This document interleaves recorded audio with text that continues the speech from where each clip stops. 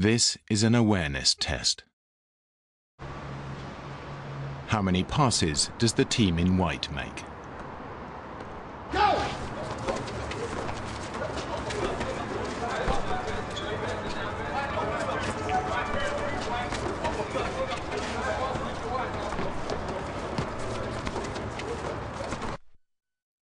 The answer is 13.